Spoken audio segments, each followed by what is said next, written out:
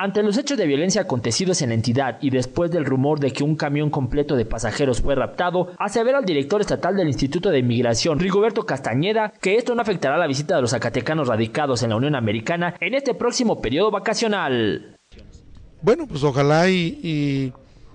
y, se den cuenta pues que, no hay tal, tal ah, mm, rapto y que sigan considerando que Zacatecas es un espacio seguro de, vacacionar, de venir a visitar a sus familiares y, regrese, ¿no? Mm, creo que los zacatecanos ya tienen esa percepción de acuerdo al, a los hechos que se han dado con, las dos zonas militares, con las cinco unirse que tiene cubriendo pues eh, las carreteras de Zacatecas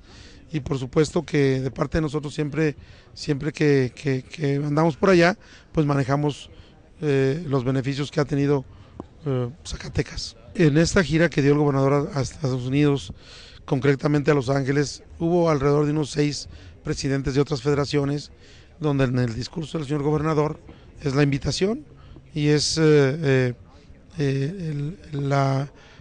explicación de cómo Zacatecas ha ido mejorando y cuál ha sido la inversión del gobierno del estado eh, en, cuestiones de seguridad. Sí, esos 3 mil millones de pesos invertidos para la seguridad, para proteger la seguridad de Zacatecas, eh, eh, ha sido muy relevante. Y vamos a decir, por ejemplo, el cañón de Juchipila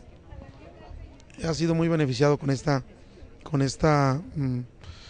compañía no encuadrada que ha dado mucho beneficio a, los zacatecanos ahí. Este es un reflejo que lo ves tú en Forward, en Chicago, en Los Ángeles, porque en todos lados hay gente del cañón